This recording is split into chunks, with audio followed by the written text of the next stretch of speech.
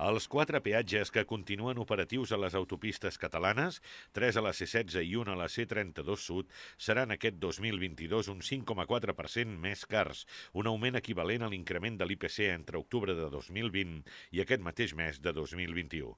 El passat 31 d'agost es van aixecar les barreres d'altres quatre peatges a Catalunya gestionats per la Generalitat i també l'AP2 i l'AP7 de titularitat estatal, però en continuen quedant quatre i tres d'ells dins de l'àmbit operatiu de la Catalunya central, tots d'ells en vies titularitat de la Generalitat. Són els túnels de Vallvidrera, l'autopista de Manresa i els túnel del Cadí, a la C16, i també el situat entre Castelldefels i el Vendrell, a la C32 Sud. La Generalitat assumeix uns 50 milions d'euros a l'any en conceptes de bonificacions, descomptes o reduccions que s'apliquen als peatges i aquest 2021 ha aprovat dues modificacions en aquest sentit, la pròrroga de 3 anys en descomptes a vehicles de baixes o zero emissions i una flexibilització en els descomptes aplicats a la C32 Sud.